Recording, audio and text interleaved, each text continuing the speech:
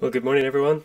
It's uh, wonderful to to join with you again this morning. Thank you so much for uh, for taking the time, making the effort to gather around your devices uh, and to tune in. It's wonderful to see you. Uh, thank you so much for those who have already started to comment and, and say that they're here and say that they're watching.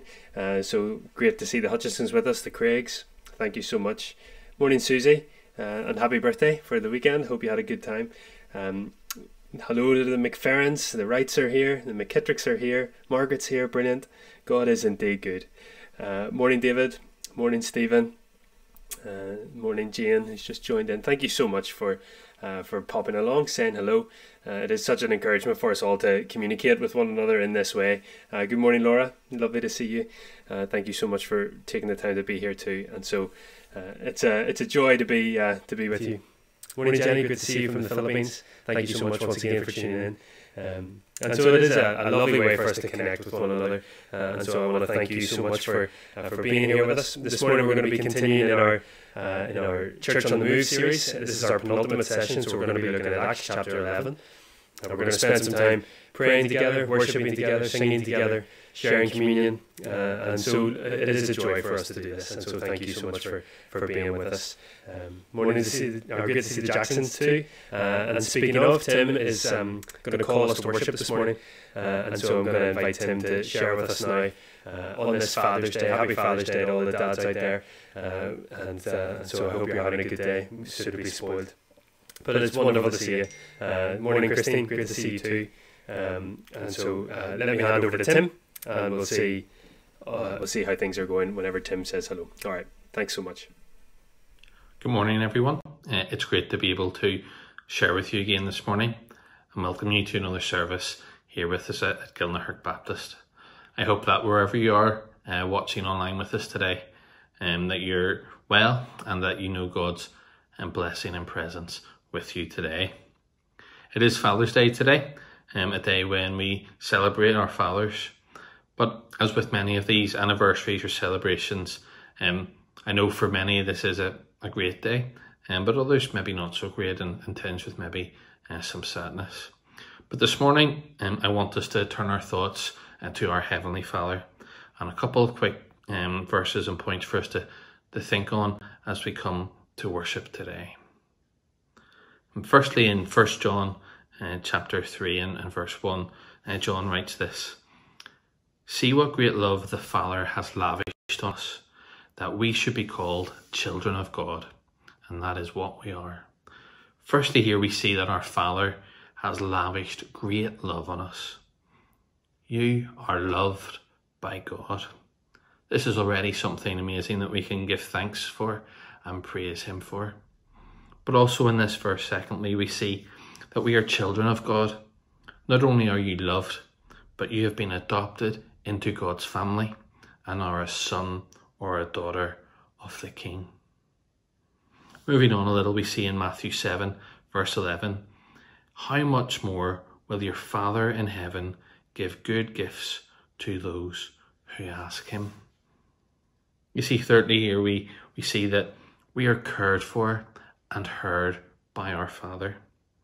Without going too deep into this, God our Father hears us when we talk to Him and bring our prayers and our requests to Him. What reassurance today that we don't just worship a, an imaginary friend or an idol, but we worship a personal God, one who wants us to call Him Father, and one who listens to us and hears what we ask of Him. Finally, in James 1, verse 17, we read this Every good and perfect gift is from above, coming down from the Father of heavenly lights, who does not change like shifting shadows. God our Father provides for us, giving us good and perfect gifts. It also notes here that He does not change, giving us all the more reason to praise Him and give thanks to Him.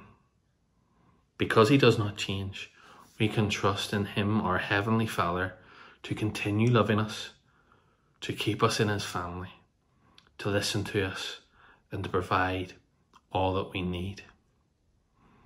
So this morning we're going to come and praise him. Praise him for who He is and all that He has done for us. We're going to sing two songs together. And the first song is the new song that we learned a few weeks ago, Ancient of Days. Um, so the McFerrins will lead us in that again. And then secondly, one we maybe haven't sung for a little while, um, A Mighty Fortress is Our God. A great song reminding us how powerful our, our God and our Father is.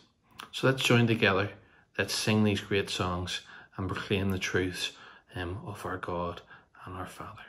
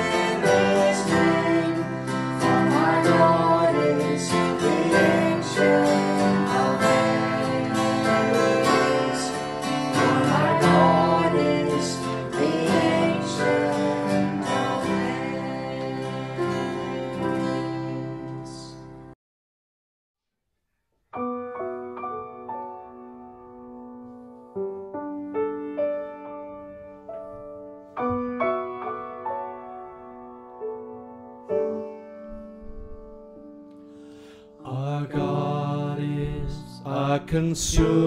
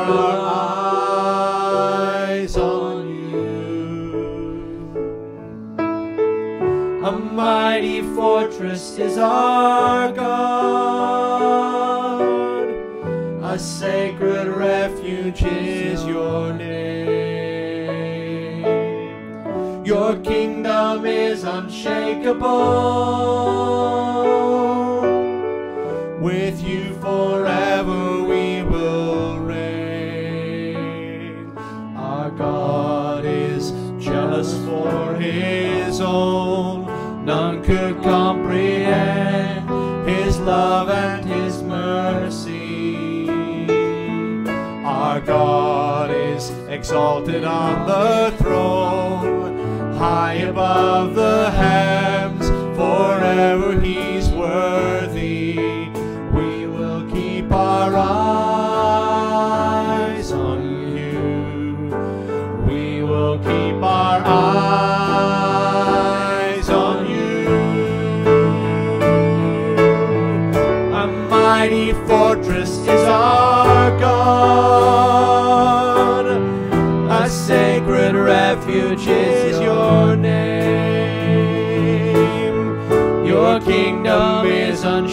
unshakable.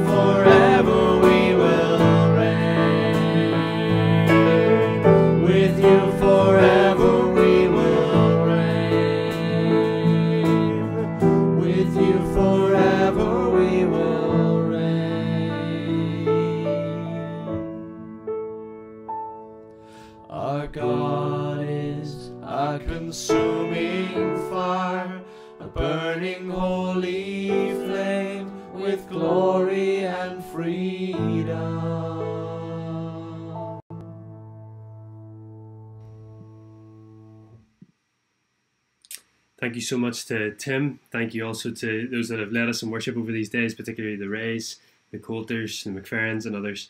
Uh, and so, thank you. It's a it's a wonderful joy to declare these songs together, uh, to praise His name, and to sing uh, with joy. And I, I, hope you've been able to do that where you find yourself in your home, uh, with whoever might be there. Um, I realise there was a little bit of technical hitch with the microphone there. Please do let me know uh, if this is any clearer, if this is working a little bit better. Uh, this is what happens when you try to do a new thing. It's just better to stick with what you know. Uh, but I hope this is clearer and not, not going to cause any any difficulty or any distraction. Uh, thank you so much for those who have said hello again. Thank you to Maggie. It's great to have you with us. Uh, and Louise, uh, hope you're well at this time. A difficult time for the family, I realise, but um, it's good to have you with us. Thank you for joining us.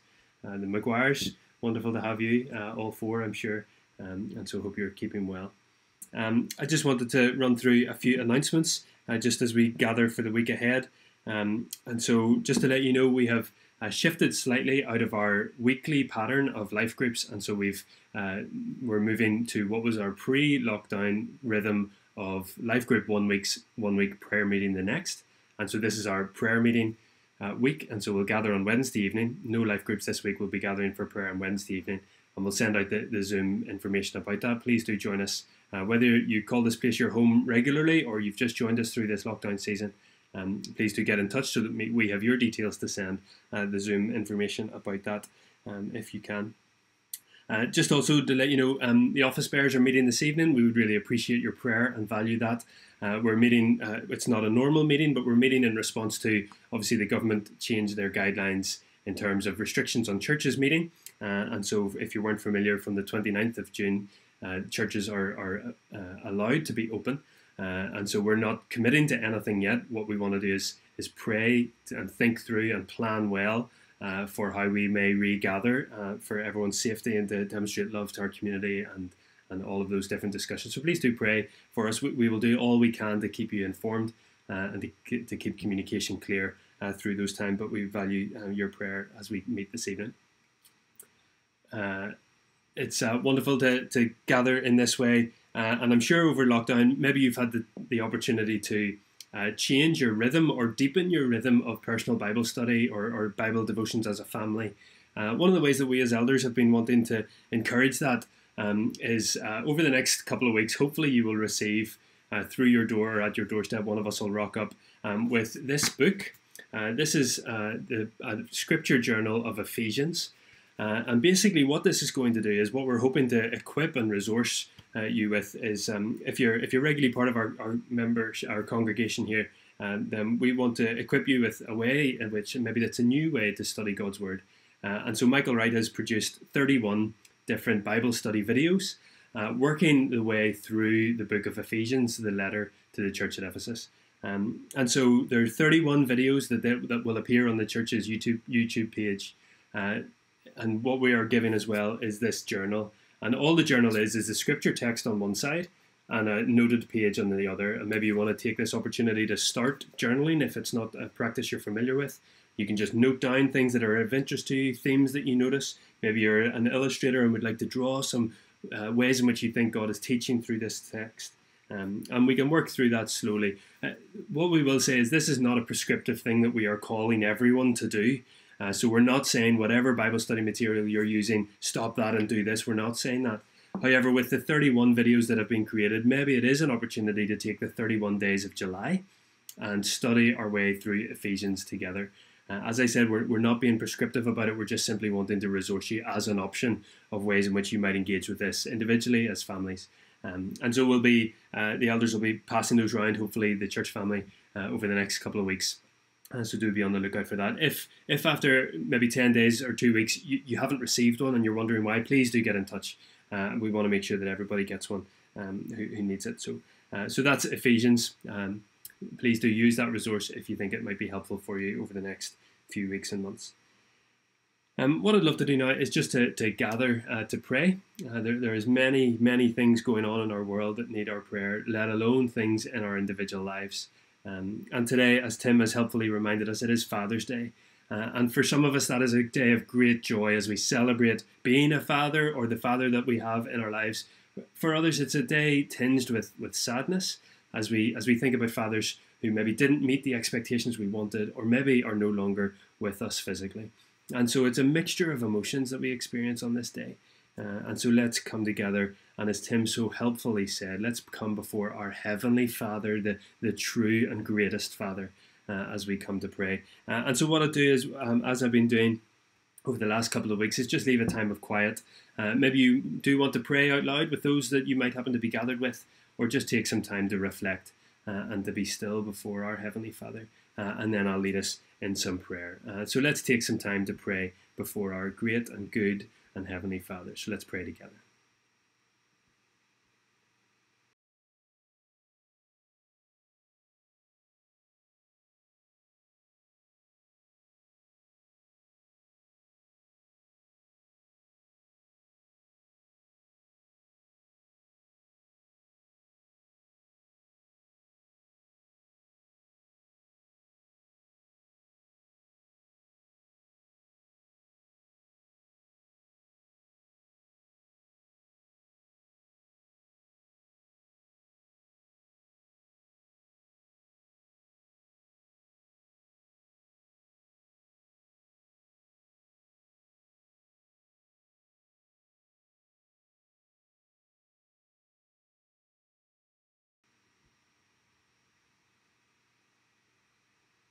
And so, our Father, we, we thank you that we can come before you as our Father, as our Abba Father.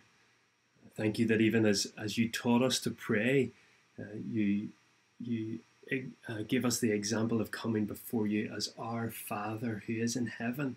Hallowed be your name. And so we thank you uh, that you are the, the perfect example, the true Father. And so thank you for this day that does helpfully remind us and, and, and help us to appreciate uh, the fathers that, that we have had physically in this life.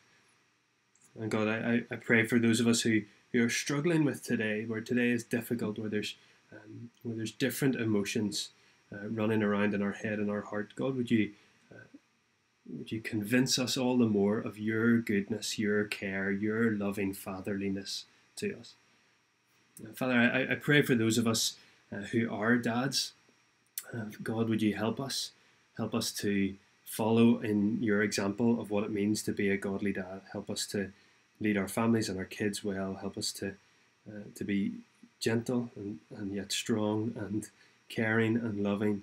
Uh, and so we, we, we thank you for the privilege of family. Uh, and God, we pray that you would help us. Uh, God, we do think wider of family. Uh, and thank you, Father, for the, the growing families that we have had amongst us in these days. Uh, thank you for new life and new babies.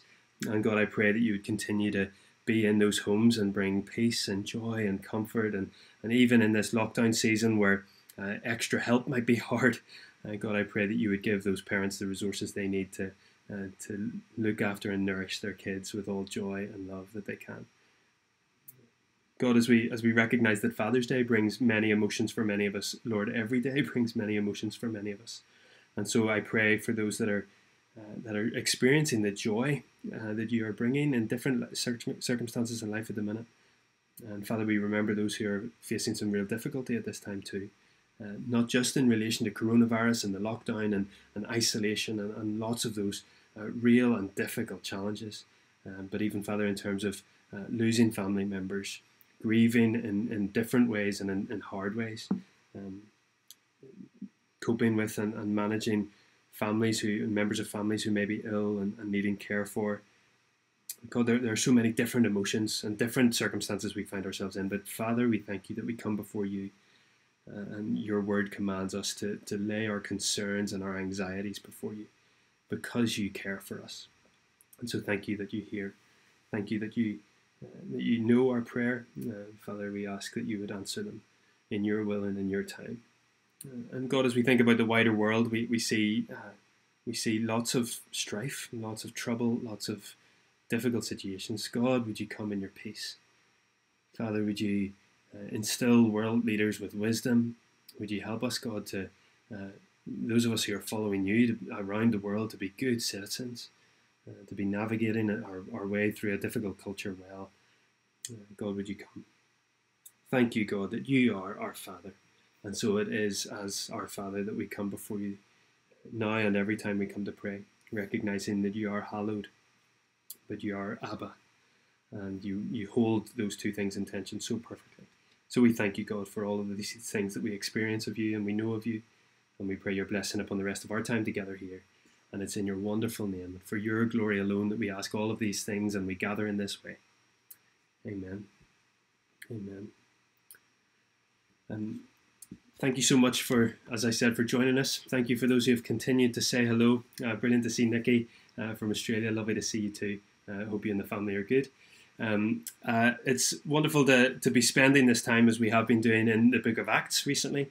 Uh, and so we come to our penultimate session today in Acts chapter 11. If you have a copy of God's Word, I'd love for you to turn there. Acts chapter 11, we're going to pick it up in verse 19, read through to the end of the chapter, verse 30. Uh, we're going to read this passage now, uh, and then we're going to sing, uh, and then we're going to turn to God's Word in a bit more detail uh, after that song. And so uh, if you do have a copy of God's Word, please do take lift that now.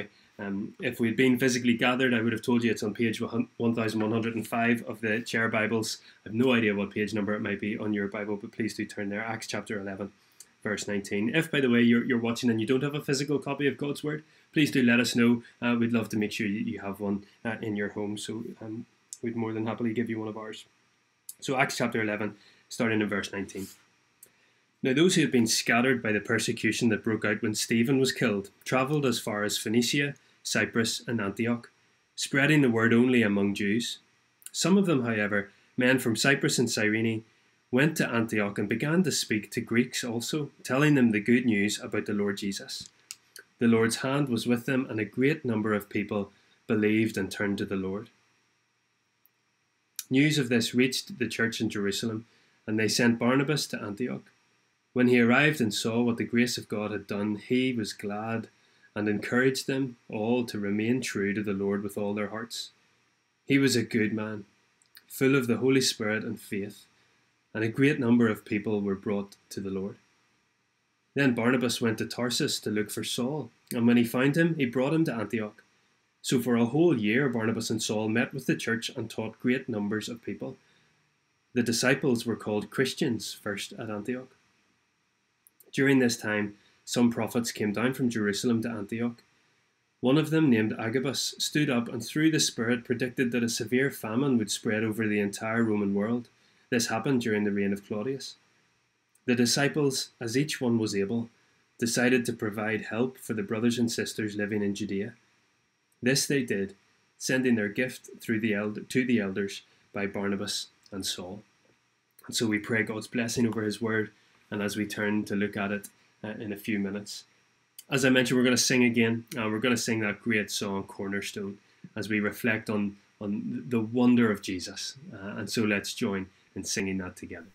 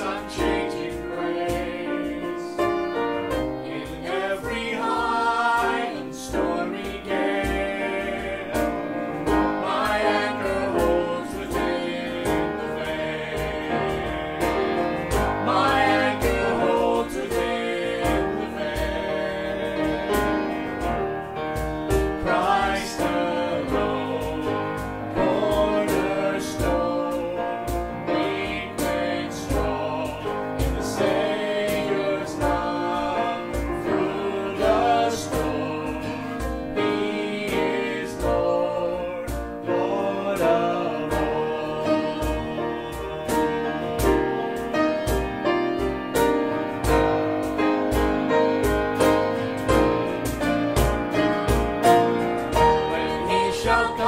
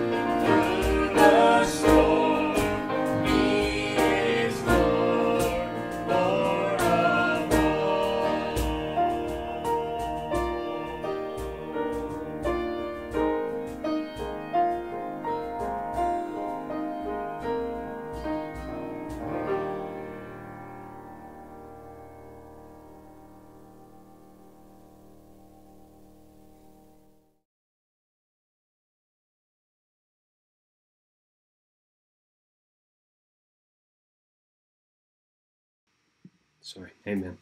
Uh, let's come together to pray before we, we come to God's Word. Father, we thank you for your Word. And we pray, Father, as we turn to it now, God, would it be uh, more than just a way to fill time? Would it be more than uh, just me saying words? Would it be uh, so transformative to our hearts and to our lives? God, as we consider your Word, your holy Word, uh, breathed out for us so that we would know you as you reveal your ways and your, your character to us. God, may we be shaped by it. And so come, Father. In your wonderful name we pray. Amen. Amen. Uh, so today, as we mentioned earlier, we're, we're, we're, continuing on in our Church on the Move series, and we reach our penultimate session before uh, concluding our studies and, and, next week, and then a change in direction for the summer. Uh, and so far, we've been looking through Acts chapter 6, verse 8, right through to Acts 11, 18, where we left it off a couple weeks ago. Uh, and we've charted the Church of Jesus Christ in its early days as it spread from Jerusalem outwards. Uh, and, and we knew this would happen right from the outset of the book of Acts. We knew that that would be the pattern because Jesus laid down that pattern in Acts 1, verse 8. And, and we've mentioned this blueprint uh, that Jesus gave to his disciples pretty much every week. But it's important for us to remember and keep going back to because we need to remember that nothing that happens, nothing that we're reading about it is coincidental. It's all part of God moving his church throughout the known world. And so we read in Acts 1, verse 8 You will receive power when the Holy Spirit comes on you, and you will be my witnesses in Jerusalem and in all Judea and to the ends of the earth. Jesus promised his followers that they would spread from their base in Jerusalem to the surrounding regions and beyond. Uh, and along the way, we, we've seen this that this move of Jesus' followers hadn't always been easy. In fact, the very first session we had, starting back in Acts 6 7 and the start of verse, uh, chapter 8, showed that the believers were, were forced out of Jerusalem uh, because of the severe persecution that they were facing in the city. So they spread, and wherever they spread, remember this verse from Acts chapter 8, verse 4 those who had been scattered preached the word wherever they went. And so they were taking the message of the gospel outside the bounds of Jerusalem. And, and Luke then takes us in chapter 8 and focuses on the accounts of Philip, uh, who firstly goes to Samaria to preach to the, good news of Jesus there. And we see that many in Acts 8:12, many believed Philip as he proclaimed the good news of the kingdom of God and of the, and the name of Jesus Christ. They were baptized, both men and women. And so the good news spreads. God is on the move. The church is on the move. And then Philip is directed to meet an Ethiopian man who believes and is baptized. The word of God is indeed spreading. The church is on the move. And then we reach chapter 9, where we have the dramatic story of one of the, the greatest opponents of Jesus and his followers. He then encounters the risen Christ himself and he becomes a follower. Uh, this is, of course, Saul, who would become Paul, one of the greatest Christian missionaries of all history. Uh, and we'll meet Saul again today in chapter 11. And he had been sharing the good news of Jesus in Damascus. He, he went to Jerusalem for a time and then had to go to Tarsus to be protected from his enemies who were basically trying to kill him to silence the message that he was now spreading, the message that he had once tried to squash. But Jesus' ministry continues through his people. And, and Luke, after chapter, at the second half of chapter 9, brings our attention to Peter. Uh, who was traveling about the country preaching and performing miracles, and those things proved that Jesus was very much still alive and active by his Spirit through his people. Peter then has a dramatic encounter of his own in chapter 10, uh, where he is used by God to bring the message of salvation to a Roman soldier's house, uh, a man called Cornelius. We see this in chapter 10 and the first half of chapter 11. Uh, and Peter, who was a devout Jewish man, he, he learnt that through this wonderful scene that God's message of salvation was indeed for the whole world, not just for the Jews. But God was certainly bringing together people of all nations, all tribes, all tongues to himself. And Peter was witnessing the fulfillment of Jesus' promise that his good news message would spread to the ends of the earth. And Peter, along with the early Christians, were, were becoming eyewitnesses of this spread.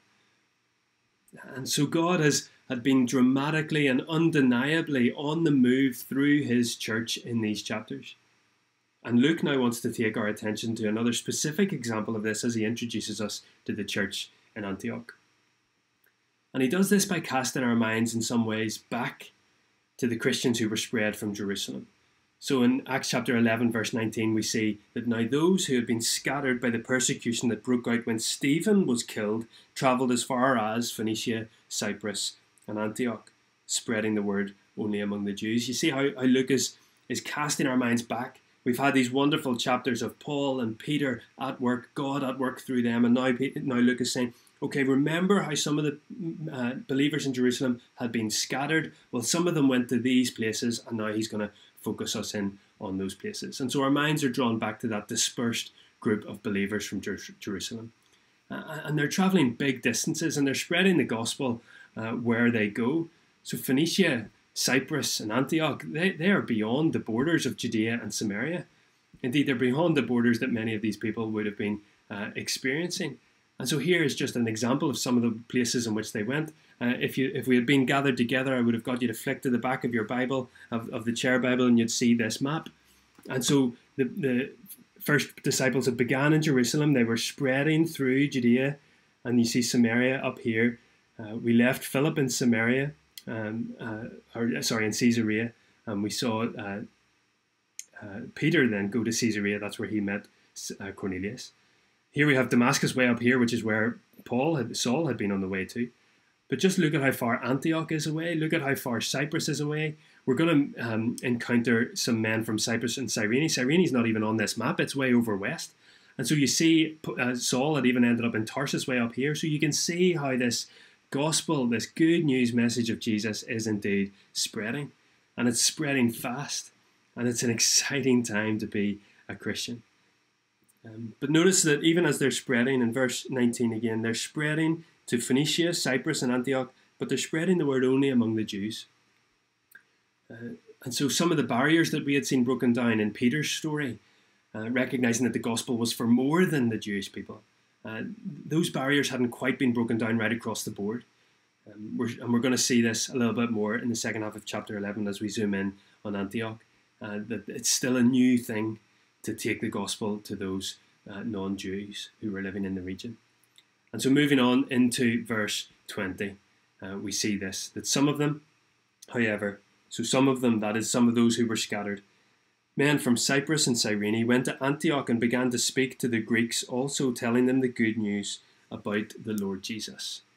Uh, and so, as we saw from the map, these men are a long way from home, uh, but their passion for sharing Jesus is remarkable. And having seen Philip's interaction with the Samaritans and Peter's interaction with the Romans, now we see Greeks welcomed into hearing the good news of Jesus. The church is on the move. And verse 21 gives us a very simple but profound summary of what happens when the gospel is shared. The Lord's hand was with them, and great number of people believed and turned to the Lord. A great number of people turned to the Lord. What a, what a wonderful phrase. Uh, and Luke, throughout his his uh, records in Acts, right up the first ten chapters, has been he, he's been keen to show throughout those writings that the church has seen great numerical growth, uh, and sometimes he gives more details than others. Um, but then there's times when he gives really specific details, times when he gives general details. But we see things like this, examples like these.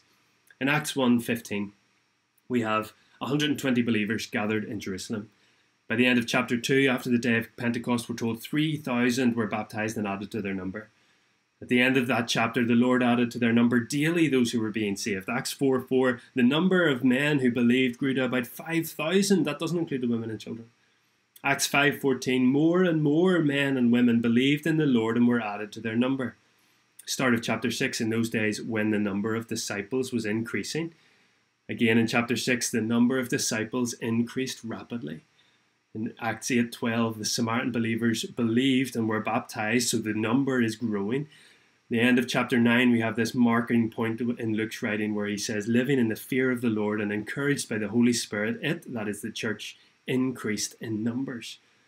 End of chapter 9, many believed in the Lord. And then Acts 10 and 11, as we saw, um, Cornelius' house, his whole house Cornelius had drawn a crowd. He had gathered all of his friends together, it seems, and to hear the good news, and they had responded en masse. And so Luke has been keen to show that, that the, the church is growing numerically, quickly, uh, and all over the place. And now we have the church in Antioch. Uh, and we see from the men from Cyprus and Cyrene that a great number of people turned to the Lord. And actually, in this short section, I don't know whether you picked it up as we were reading, in these verses from verse 19 to 30, uh, Luke has that phrase two more times a great number of people. And so in verse 24 and in verse 26, we see a great number of people were brought to the Lord. And then again in verse 26, Barnabas and Saul met with the church and taught great numbers of people. Uh, so all of these occasions where, where Luke records the numbers of people gathered or, or very visible signs of the church growing, not only are they encouragement for us as we read, they should be encouragement for us now, today. And they should encourage us because they're evidence that the claims that Jesus made about his church were true and therefore still are true. We've referenced this a couple of times in this series already, but Jesus claimed in Matthew 16 18, I will build my church, and the gates of Hades will not overcome it. Jesus promised that he would build his church, and here Luke is marking out the evidence that he did build his church. And of course, as, as we gather here this morning, as believers in Jesus, followers of Him, we are doing so as proof that Jesus continues to build His church. He continued to spread the good news from the eastern coast of the Mediterranean Sea in the middle of the first century, all the way to 2,000 years later in the tiny pocket of Belfast that we find ourselves in, on a tiny island miles from Jerusalem, miles from Antioch. And indeed, believers joining us from all over the world, from Australia and the Philippines and beyond. Jesus did build his church, and Jesus continues to build his church. This is evidence, the book of Acts is evidence, and we know that to be true today. Uh, and somehow, and for some reason that only God knows, his primary way of working in the world through his church is through his people. I don't know if you remember a phrase that Paul Brennan used a couple of weeks ago with us that the risen Jesus is at work in his church through his Spirit. The risen Jesus at work in his church, that's his people, us, through his Spirit. And of course, the work of Jesus means that his church witness for him in the world, and so his church grows as people come to know him and see him through us. And this is the model that we see here, isn't it? These, these men from Cyprus and Cyrene have been Jesus' agents on the ground. Uh, and now in verse 22, we see that God involves others in that great gospel work too. So these men from Cyprus and Cyrene had gone to Antioch and started to share the good news with Greeks also. And the church was beginning to grow as people, uh, as people came to know and believed in Christ. Verse 22, then we read News of this reached the church in Jerusalem, and they sent Barnabas to Antioch. Uh, and so again, here we have this example of, of the church in Jerusalem acting like a like a command center for the spread of the church throughout the region. Uh, and when they hear of many coming to faith in Antioch, they send Barnabas to check things out. Uh, and I guess we have to remember that, that many of the Christians in Jerusalem may still have been cautious about the gospel spreading so far. Uh, and so maybe they needed to hear from a trusted source about what was going on. Remember, we had seen this in Acts chapter 8 when, when Peter and John went to Samaria to join Philip uh, to see uh, the, the work of God in the believers there. And so, in this occasion, they send Barnabas, and he heads to Antioch. Uh, uh, and if reputations are anything to go by, Barnabas is the guy that you would want to see walk through the door of your church. Yes, much of his story is yet to unfold in the book of Acts, but what we know of him already tells us that this is a man who's going to have a positive impact on the folks in Antioch. We even read here, it's almost a throwaway phrase but in verse 24, we see Barnabas was a good man, full of the Holy Spirit and faith. And that phrase might even remind us of Stephen in chapter 6 and 7 when we read phrases like that. Virtually the same description is given of both men, and that is not bad company to be clumped in with from Barnabas' point of view. But it's clear from, from what we see about Barnabas here that this was a man who lived out the faith that he professed. His belief was, was visible, and we've seen that throughout encounters that we've had of Barnabas up and through the, the book of Acts already. And so we see in Acts chapter 4 when we're first introduced to Barnabas. Uh, in Acts chapter 4, 36, we read Joseph, a Levite from Cyprus, whom the apostles called Barnabas, which means son of encouragement. I mean, what a nickname to have. Barnabas was a, was a special kind of guy, uh, able to get alongside people and spur them on. The son of encouragement. And then the next time we meet Barnabas is in Acts chapter 9, when Saul comes to Jerusalem to meet with the disciples after his conversion. Uh, and, and, understandably, perhaps the disciples are skeptical of this story. I mean, this man, Saul, who had been leading the charge to imprison them and kill some of them, now wants to join them? Surely that can't be the case. And but look at what we read in Acts 9:27. But Barnabas took him, that is Saul, and brought him to the apostles. He told them how Saul on his journey had seen the Lord. And, it goes on, and Barnabas advocates for Saul before the apostles. And what I love about that is that Barnabas had clearly spent enough time with Saul to hear his story and to see in Saul's life the work of God that had been done. But Barnabas is the one that goes to get Saul. Barnabas is the one that goes to retrieve him and bring him back into the fold in Jerusalem. Uh, he was a great man. He was an encourager, a, man full of the Holy Spirit and faith. Indeed, William Barclay has called him the man with the biggest heart in the church.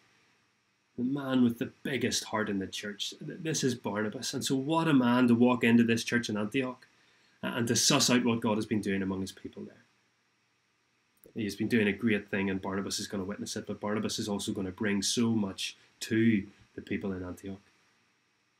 And there's a big challenge there, isn't it? In terms of when, when we see characters like this in the Bible, I think we can often think that, that they're they're too good to be true, or that can never be a real life scenario, or I could never be like that. But God's Spirit is the same. God's Spirit who was at work in Barnabas is at work in you and me if we are if we are followers of Jesus, if we are calling him Lord and Savior, then our lives can demonstrate some of these things that we see in the characters of Scripture. And look, let's look on uh, and see what Barnabas sees whenever he arrives in the church of in Antioch. When he arrived and saw what the grace of God had done, what a phrase! When he arrived and saw what the grace of God had done, he was glad and encouraged them all to remain true to the Lord with all their hearts. God had been at work in the Christians in Antioch, and that was that work was clearly visible. There, there was evidence in their lives of the faith that they now professed. Barnabas arrived and saw the results of the work of grace in their lives.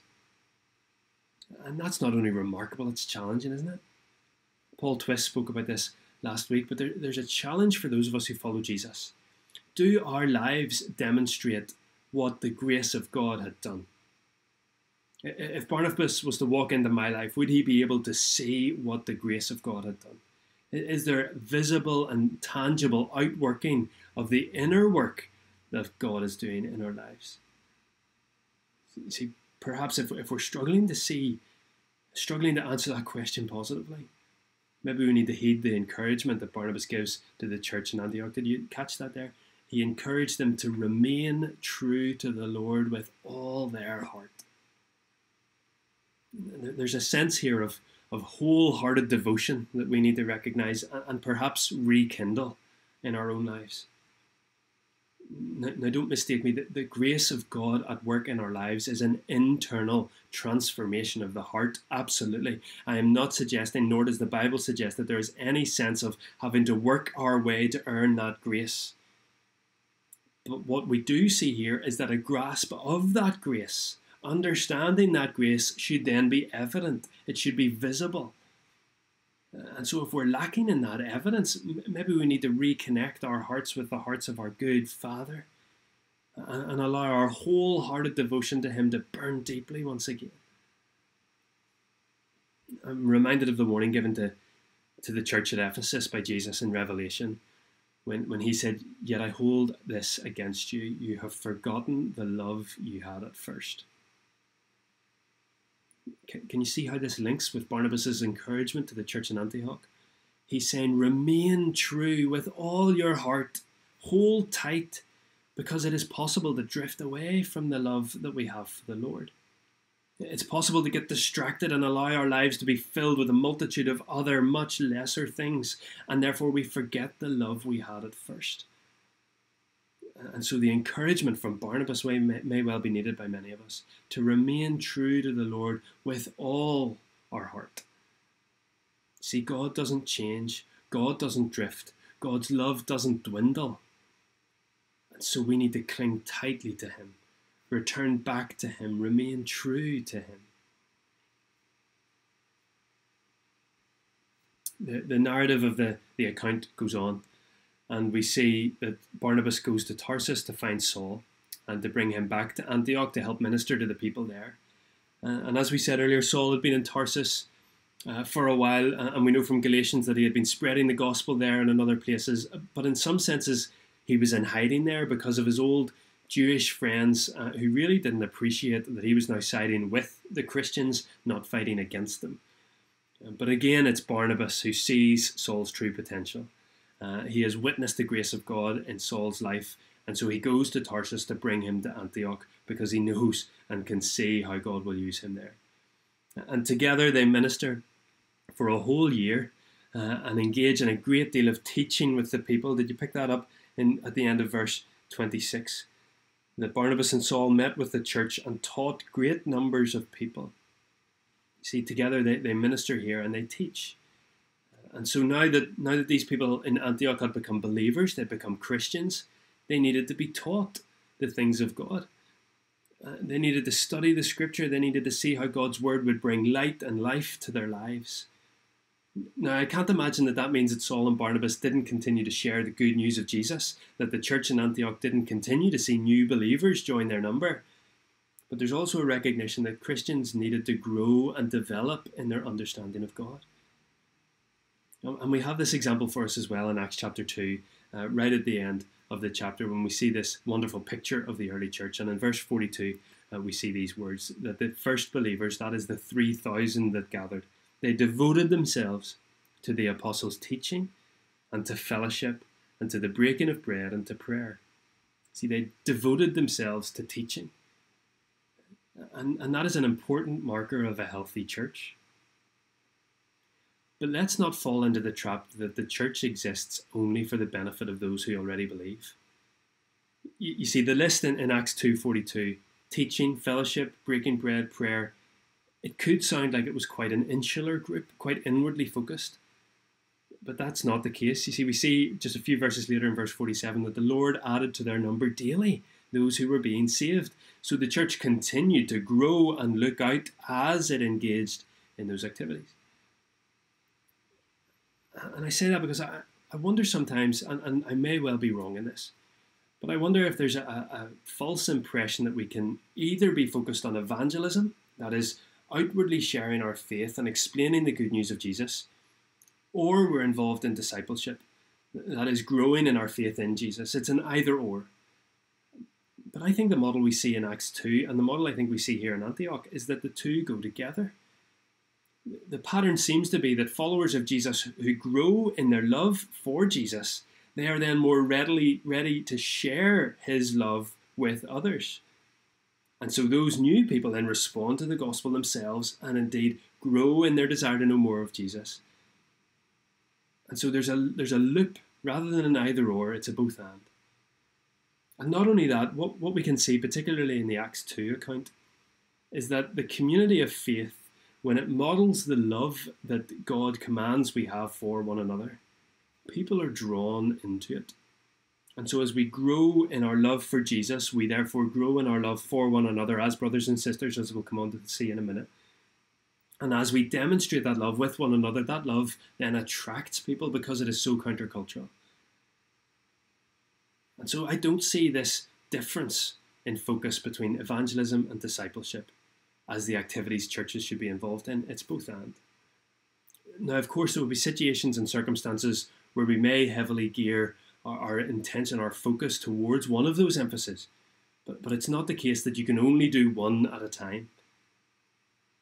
Let me, let me try to summarize it like this if I can. That, that people who come to know Jesus, so people who hear the good news and respond to Jesus, there's a desire then to know him more. So evangelism, which, which draws people to him, leads to discipleship. Evangelism leads to discipleship because as people come to know Jesus, they want to know him more. But then people who are growing in Jesus, people who are growing in their discipleship and their maturity in Him, they have a greater desire to show His His love and His care and His good news message with the world, and so discipleship leads to evangelism. This is why I don't see the two things as completely separate, because evangelism leads to growth in discipleship. Growth in discipleship leads to more genuine evangelism, and so it's a circular argument rather than an either or or a both and and I wonder, wonder, do we need to be aware of that as a church? Uh, and I'm speaking maybe locally here as Gilnahirk Baptist Church. Are, are we in danger of becoming insular? Now, I'm not saying this is happening, I'm putting this out as a warning. Are we in danger of becoming insular, becoming a bit too comfortable, um, maybe even getting theologically puffed up on all the teaching we receive and take in, and therefore all the discipleship that we're involved with? But then we neglect to share that teaching and the good news of Jesus. And so we're focusing too heavily on, on the building one on the on the puffing one another up rather than sharing that out. Now the risk is also true the other way that we that we are so focused on on sharing the good news of Jesus with others and, and drawing people to his love that we neglect the sense of maturing and spurring one another on that we are called to do. So we're called to both. It's not an either or, it's a both and. Uh, and we pray that God would continue to guide us and hold these things as a both and, that we would lovingly share our faith, share the good news of Jesus with those around us, and as those folks respond to that and give their lives to Jesus, then may they be built up in Him, matured in Him. And as they do that, they will then also share their good news of Jesus with others. And so the cycle repeats. It's disciples making disciples who make disciples. Getting back to the, the account of Antioch here in chapter 11, uh, the, the very end of verse 26 is, is fascinating that we see here that the disciples were called Christians first in Antioch. Now, in this passage already, we've seen a few examples of, of great reputations of, of Saul and Barnabas. Um, and here's a great one for the church in Antioch to have that they were the group, the first group to be called Christians, literally followers of Christ, or those who have declared allegiance to Christ. And the, the language is really interesting here because I think it suggests that, that they were called that title by people around them. This was not necessarily a term that they created internally for themselves. Uh, and so I suppose that shows a couple of things. Firstly, that the Christian church was becoming understood in its own right rather than, than a sect of the Jewish faith. It, it's becoming distinct. But it also shows the reputation that these Jesus followers had and how that reputation was growing. Now, I have to be honest enough to say that the term was probably not meant to be totally positive in the same way that it is today in certain cases. It might have been a way to, to poke fun at this new group. Look at those Christians over there, those Jesus followers. But regardless of the motive of why that term came about, it shows what a powerful example this church was in their city. As, as people looked at these folks individually and collectively, they saw Christ. Through, through the lifestyle and the message of these people, Christ's name was being made known. And surely that's the goal of every church in every setting and in every place around the world. So the call here, I think, is for us to be known as Christians in the purest sense of that term, of people whose lives and words demonstrate and display Jesus to a world that watches on. Let's be known as Christians. Uh, in this section, verse 27 to 30, it, it ends with a, a very real life, tangible example of what it means to be a follower of Jesus. See, in verse 27 to 30, we're told of a prophecy that was given for a famine that would come, and particularly how this famine would hit the region of Judea, especially hard, it seems. And one of the reasons Luke's, Luke mentions this here is to show how the church in Antioch responded. And in verse 29 and 30, we see that response. The disciples, as each one was able, decided to provide for the brothers and sisters living in Judea. This they did, sending their gift to the elders by Barnabas and Saul. So, so the church in Antioch hear of this great need that was coming for the church in Judea and around the region. They'd likely never met anyone from the Jerusalem church apart from Barnabas. Yet they've been so captivated by the love of God that they see every Christian as their brother and sister. You see that language? Provide help for the brothers and sisters living in Judea. And so, as a response, they give sacrificially to relieve some of the hardship that their brothers and sisters might be facing. And just notice the intentionality behind each and every action. So they gave as each one was able. So they weighed it up and they gave what they could. It took planning, it took decisiveness. Then they decided to give. They decided to provide help. This was a, a concrete, decisive moment. And then the start of verse 30, I love that this tiny phrase, but it's so uh, it's so direct. This they did they didn't just say it was a good idea. They didn't just have a, a couple of committee meetings about it. they didn't just even pray about it, they did it. They heard there was a need, their brothers and sisters were in need, and so they decided to give, and they did. It was something very definite. And in some ways, I don't think Luke wants us to focus on the, the financial generosity of this church in and of itself. I think what he's doing here is adding this detail to show us yet another example of how this group of Christians actively live out their faith. They're actively obeying the teaching and the commands of Jesus. The idea of, of a financial relief fund might sound fairly straightforward to us, but when we take it as part of the story of this remarkable church who were devoted to teaching, they were growing in numbers, they were gaining a reputation in their city as followers of Jesus then this is a direct example of the outpouring of that faith. It's yet another example of faith in action. And so I think there's much that we can learn from this church in Antioch and particularly its birth here in chapter 11. Uh, and I realize that as we've just walked through the, that passage verse by verse, maybe there's been different things that have struck you as we've gone along but it's a significant launching point. Antioch will become a significant launching point for the spread of the gospel. And so it's important that we recognize the lessons that we can learn from this church here as it is birthed. And so I wonder what you've been struck by. I wonder what God has highlighted for you in the establishment of this, this wonderful church. I wonder what struck you particularly as we just meandered our way through those verses. Perhaps you're you're struck by the, the courageous example of the unnamed men from Cyprus and Cyrene, who were willing to break new ground for the name of Jesus. Or, or maybe it was the, the reputation of Barnabas, and thinking of him as this pillar of the early church, yet often working so personably in the background, caring for people with such love and encouragement. Or I wonder if you've been challenged by thinking, in our role as Christians gathered in the church to be taught by God's word, to deepen our love for Him, our, our knowledge of Him, which then compels us out. Or maybe you've been struck by the sacrificial generosity of this church who so willingly and so thoughtfully gave for their brothers and sisters in the faith. How convinced they were of their unity with these complete strangers because of the work of God in their lives, which had bound them together for me, one of the things that impacted me in these verses was once again the reality that God grows his people. God grows his people and he uses a variety of ways to do that. And so he grows his people through his grace. I love that phrase in verse 23 that Barnabas saw what the grace of God had done. That God's grace in their lives produced fruit that was visible. And I love even the sense that this church that would become so strategic was started by men whose names we don't even know. Yet what we do know is God's grace was active and God's grace was transforming hearts. So God grows his people through his grace. Secondly, I'm struck by how God grows his people through his people.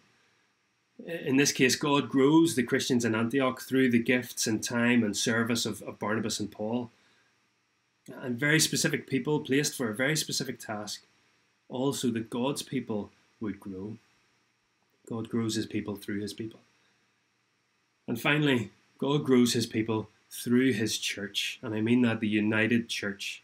And, and isn't it a, a great example and a great encouragement to know that as God is at work here among us as individuals and as a corporate church family together, that we are united to brothers and sisters all across the world. And along with that encouragement is a challenge to be intentionally invested with time and resources in our in the well-being of our brothers and sisters, in, in doing what we can to enable them to flourish in their ministry where they are. So God grows His people. He's continuing to grow His church. That's the story that we're seeing throughout this section of the Book of Acts. We know that He still continues to grow His church. And he grows his church through his grace, through his saving power, the grace that he displayed through the Lord Jesus Christ. He grows his people in, in knowledge and maturity as followers of him in response to the grace. And, and then he gives us opportunities to demonstrate that grace to one another as his family. God grows his people through his grace. He grows his people through his people. He grows his people through his church.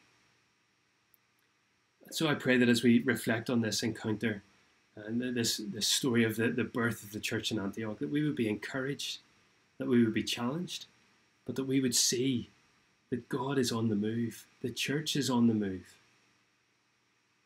And so maybe we look at this passage and think that, that our role is like the folks from Cyprus and Cyrene, that, that, that no one may ever know our name, but our job is to share the good news of Jesus, to make his name known. Isn't that the wonderful phrase that is used in verse 20? That they speak to the Greeks, telling them the good news about the Lord Jesus. It's all about him. It's all about how his grace can transform lives. And we see that there are some who are called for specific purpose to a specific place, and maybe that's you in your workplace, maybe that's you in your family, maybe that's you in your neighborhood, in your, in your friendship circle, and you're called there to, to, to grow God's people. Maybe those who know Him already, and you're called in that friendship group to, to, to help one another as followers of Jesus to go deeper in His Word, to, to spend time praying together, uh, to investing in your, your relationship with Him as you do that together. Or maybe that's as you share His good news with those who don't yet know Him. And God grows His people through His church. And as we intentionally support and invest and pray for His church globally, let's remember that God's church is on the move to the ends of the earth. And so we praise Him for His, his work of grace in our lives and in the lives of so many others, millions of others. I realize that that's maybe a different way than we sometimes deal with passages, um, where we've just walked our way through. Uh, I, I also recognize we've done a lot of jumping around of different references. I hope that's been a helpful journey for you as you've as you've seen God's work in the lives of the folk at Antioch and how that speaks to us in our lives here. What we're going to do now uh, is just have a moment of quiet, uh, and then I'm going to play a song. We're going to sing "Living Hope," uh, this living hope that has been birthed in us as a response to the gospel. Uh, and so, if you know and love and follow Jesus, after that song, we're going to share communion together. And so, I'd encourage you to gather the elements around uh, so that you have them with you. Uh, and then we're going to join in and celebrate communion. Remember the death of our Saviour that made all of this possible. Uh, and so, let's have a moment of reflection, not to let all of those words, not to let God's word just pass by, but let's reflect on what He may have been teaching us. And then we will uh, share the song together uh, before we gather for communion. Uh, so let's spend some time in prayer.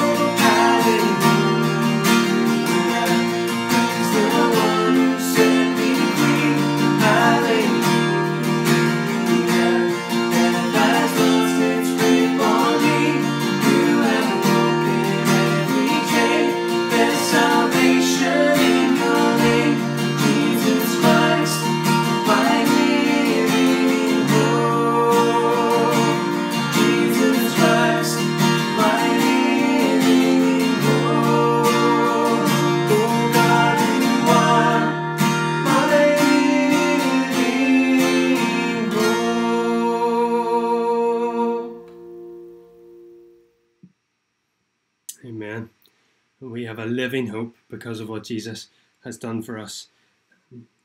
And to, to help us uh, think through and, and marvel at the cross as we come to celebrate communion. And let me just read Colossians 2 13 to 15.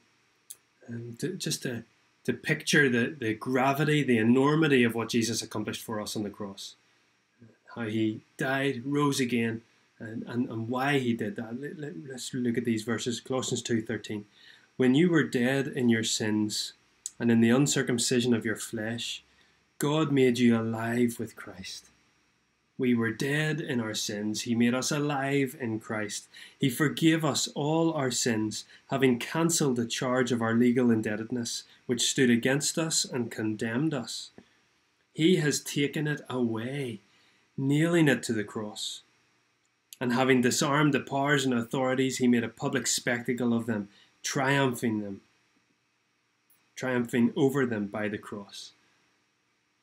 You see, we, we stood condemned. Our sin condemns us. We are in a state of debtedness in the legal sense as we stand before our Holy Father. It, it, it stood against us, it condemned us, yet He took it away. He took it away. That, that's why it is grace, because it is completely undeserved. While we were dead, He made us alive. While it stood against us and condemned us, He has taken it away, nailing it to the cross. He took the punishment that was ours to pay, knowing that we couldn't pay it, so that we would know forgiveness of sins, so that we would know then life in, in all its fullness with Him. Life now to, to live in response to this wonderful good grace that we've been thinking about this morning. This is why we celebrate communion. It is a good thing to regularly reflect on and marvel at the gift of the cross to appreciate the, the brutality and the severity of the sacrifice that Jesus paid for us. And recognizing that he paid it on our behalf. And of course, Jesus knew this was the way that things were going to play out. It was not a surprise to him. And so, the, the night that he was betrayed, uh, he, he gave an example meal to his friends to explain how they could remember this meal, how they could appreciate the, the, the gravity uh, the enormity of what was about to take place. And so Paul wrote those instructions to the church in Corinth, uh, and we reflect on these words regularly. Um, but it just draws us back to why we do what we do um, and how we do it as well. So Paul writes, For I received from the Lord what I also passed on to you, that the Lord Jesus, on the night he was betrayed, he took bread, and when he had given thanks, he broke it and said, This is my body, which is for you. Do this in remembrance of me. In the same way, after supper, he took the cup, saying, This cup is the new covenant in my blood. Do this whenever you drink it in remembrance of me.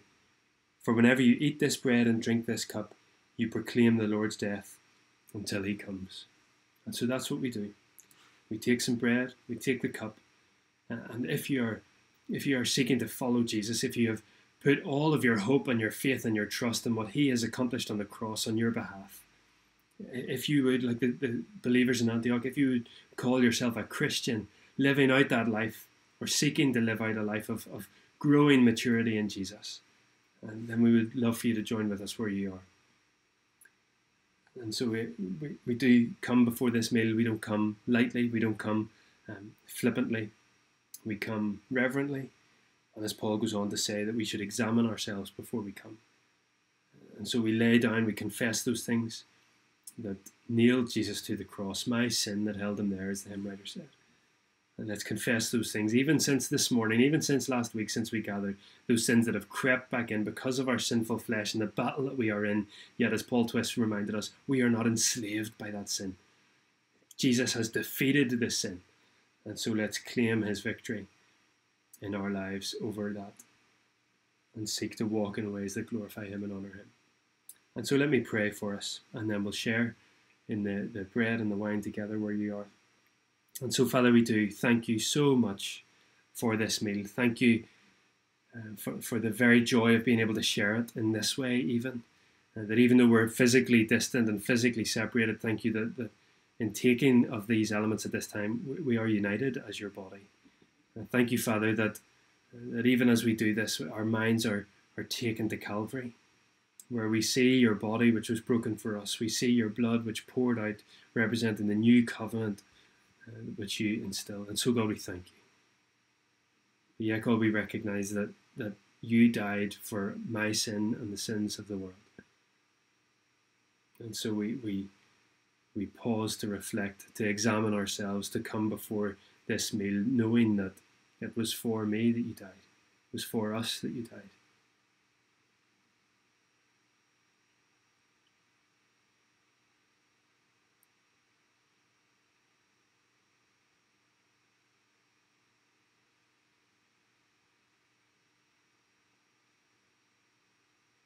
And Lord, the wonder of grace is even though you you know that sin and you knew that sin, you went to the cross anyway. And so we thank you for your grace. We thank you for your love. We thank you for your sacrifice. And we thank you now for these simple emblems, what they represent for us. The bread which speaks of your body, the, the wine or the juice which speaks of your blood poured out. We thank you for the opportunity to share in this meal and we pray your blessing as we do it. And so it's in your name, for your glory, as we proclaim your death, that we pray. Amen. Amen. I'll just leave a couple of moments of quiet for you to share those emblems, reflect uh, on your own, and then we'll gather together uh, as we close our service.